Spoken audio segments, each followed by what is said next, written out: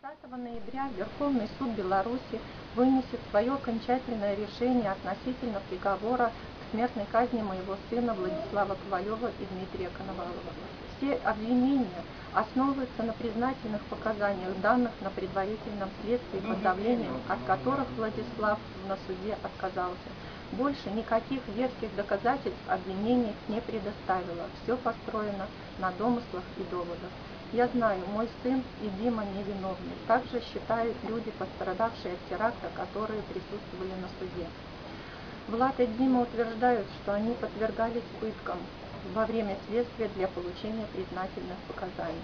Пострадавших от теракта волнуют вопросы, касающиеся беспристрастности и прозрачности судебного процесса, доступ к материалам дела.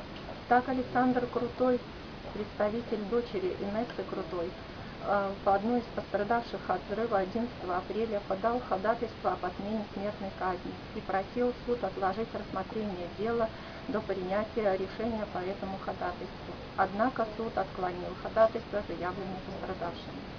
В ходе судебного разбирательства независимым журналистам было запрещено общаться с пострадавшими. Не дожидаясь решения суда, официальные СМИ уже указывали на Влада и Диму как террористов.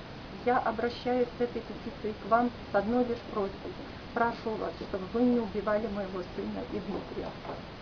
А вместо этого нашли тех, кто действительно должен нести ответственность за эти преступления.